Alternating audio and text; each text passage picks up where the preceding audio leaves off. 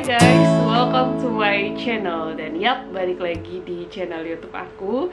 Dan seperti judulnya, hari ini gue bakalan bahas Arsumsi Heisu lagi. Gue cukup lama ya untuk ngilangnya. Beberapa hari ini gue lebih nyaman untuk upload di story Instagram dibanding YouTube. Enggak sih, enggak karena kayak gitu juga. Tapi emang untuk bikin video ini kan kayak butuh prepare. Kalau instastory itu enggak kalau misalnya ada kepikiran langsung di post aja gitu. Kalau ini butuh harus di rumah dulu atau yang enggak suasananya lagi tenang baru bisa bikin video ini so karena udah lumayan tenang walaupun bakalan banyak background background suara-suara lain mungkin karena tetangga gue lagi renovasi rumah terus depan rumah ada acara nggak depan rumah banget tapi agak jauh tapi kedengaran sampai sini semoga nggak noise banget So ya, yeah, kali ini gue balik, balik untuk ngebahas Arsumsi Heisu yang sebenarnya udah gue pengen banget bahas dari jauh-jauh jauh hari banget. Sebenarnya uh, ini udah dari beberapa bulan yang lalu ya.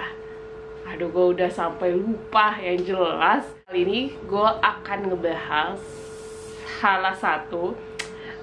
Ya jangan terlalu terperinci lah ya. Pokoknya orang yang lumayan bukan lumayan lagi tapi udah dekat sama Jung Hae In sering kerja bareng. Ya anggaplah tim dari Jung Hae In ya tapi bukan yang memimpin gaib ya.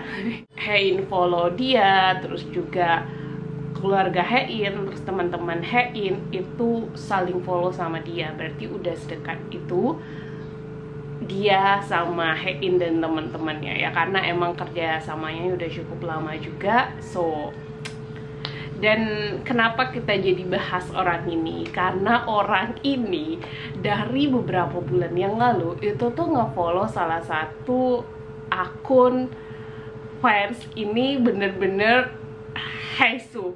Jadi dari profil picture-nya terus postingan-postingan feed Instagramnya itu bener-bener Heisu. Dan ya sebenarnya nggak perlu buka profilnya nggak perlu ngepoin pas udah tahu kalau itu tuh emang akun orang yang ngefans sama Hesu. Kayak kita inilah ya.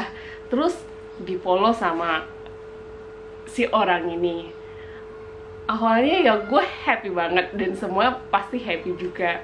Tapi ya kayak diam-diam aja dulu gitu ya.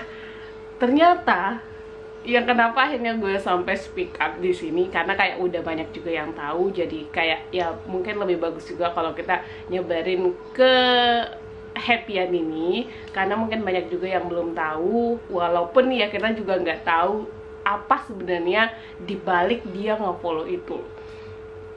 Tapi ini jadi something yang kayak bikin happy banget sejak dulu karena ya bahkan orang yang fanbase yang di follow ini bahkan sempat cerita sama aku kalau dia tuh bahkan sering lihat insta story akun Heisu ini. Berarti otomatis orang yang dekat sama Hein ini sadar kalau dia ngefollow jadi nggak salah pencet atau apa dan dia emang kepo.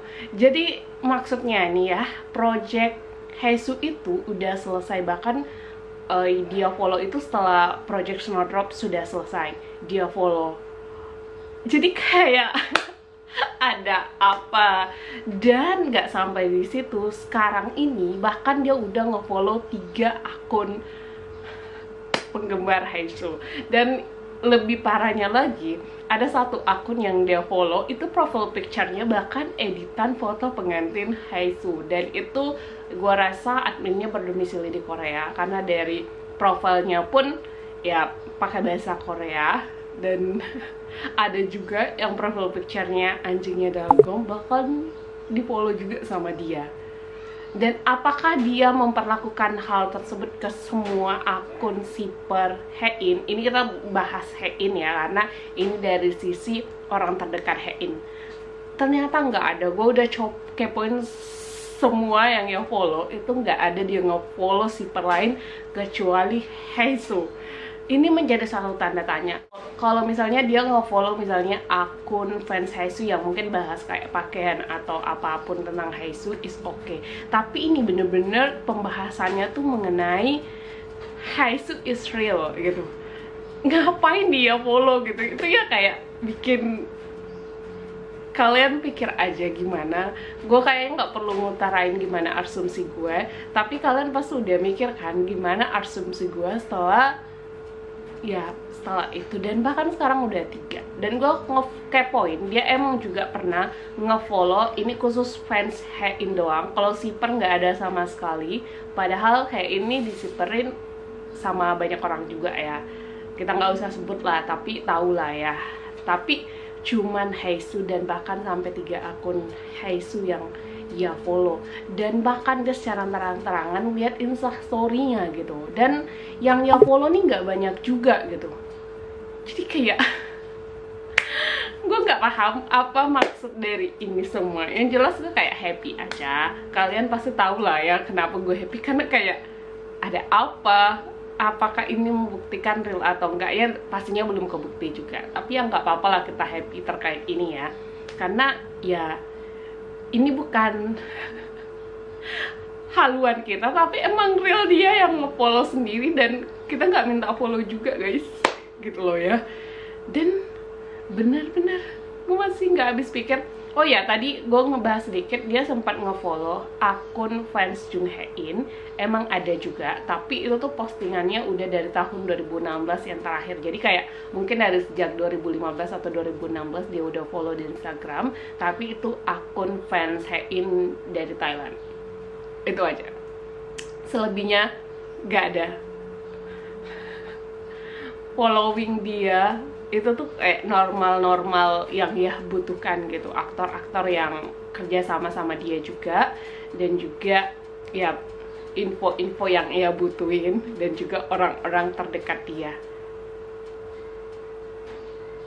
Daripada ada yang komen kita bahas privacy orang lagi kita nggak usah kasih tahu ya instagramnya apa yang jelas ada sebuah informasi yang kayak gitu dan gue nggak ngarang-ngarang cerita. Dia emang udah follow tiga akun fans Heisu dan itu dia follownya setelah project Snowdrop selesai. Hmm. Apakah ada project Jesus sama Hein yang lain? Itu juga bisa jadi sama dia gitu. Kita nggak tahu. Yang jelas kayak gitulah ya. So ya. yeah Tentunya thank you for watching. Semoga hari kalian menyenangkan. Menurut kalian, kenapa orang itu nge-follow akun fans Haisu? Kalian bisa tulis di kolom komentar. So, sekali lagi, semoga sehat-sehat selalu dan see you di next video. Bye!